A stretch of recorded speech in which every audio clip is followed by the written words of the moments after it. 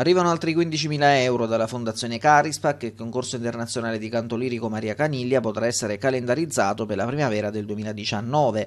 L'annuncio è arrivato questa mattina in conferenza stampa dal vicepresidente della Fondazione Carispac Armando Senibaldi e dai vertici dell'Associazione Maria Caniglia, il presidente Vittorio Masci e il direttore artistico Gaetano Di Bacco.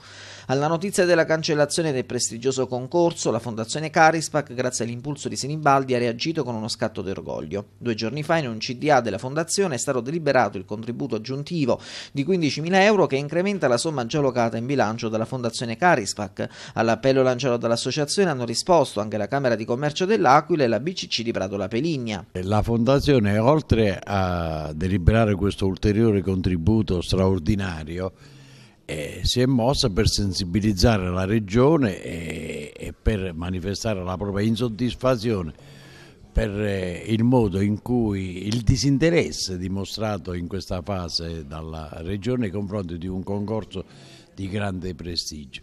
E al Presidente Pampani è stato assicurato che eh, si farà del tutto per recuperare in calcio d'angolo come si suol dire. E quanto ha detto Sinibaldi, non senza nascondere che tutti gli eventi culturali che si svolgono a Sulmona hanno il sostegno della Fondazione. Sono arrivato alla Fondazione al Consiglio di amministrazione nel 2001. In quell'anno eh, a favore del territorio erano stati, erano stati deliberati interventi per circa 100 milioni, allora c'era la lira.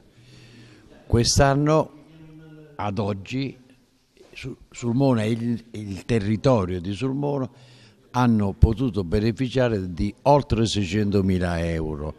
Penso che non ci sia una sola manifestazione qui a Sulmona, partendo dalla giostra cavalleresca, al Mountain Jazz, al Sulmona Cinema, Camerata Musicale, Ateneo Internazionale della Lì, non c'è una sola manifestazione che, eh, non il, che, non riporti il, sostegno della Fondazione Carisma.